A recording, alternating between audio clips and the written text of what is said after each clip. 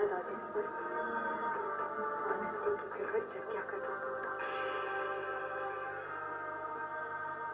बहुत कुछ किया है आनंदी ने जग्या के लिए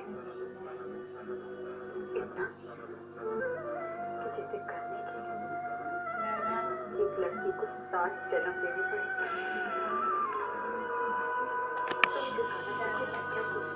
निकालने की सोचे बैठे हो